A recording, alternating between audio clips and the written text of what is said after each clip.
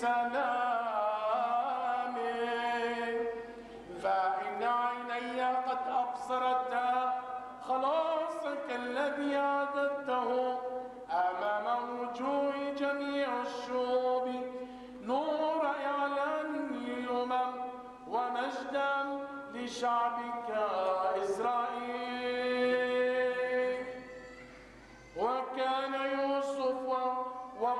وأمه يتعجبان مما يقال فيه.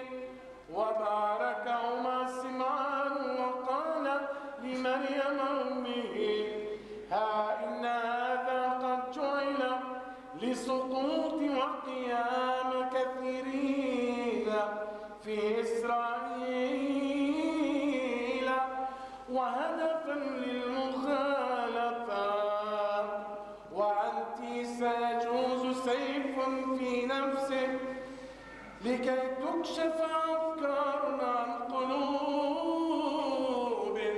كثيرة وكانت أيضا حنا النبي ابنة فنويل من سبط أشير هذه كانت قد تقدمت في الأيام كثيرا. وكانت قد عاشت مع رجلها سبع سنين.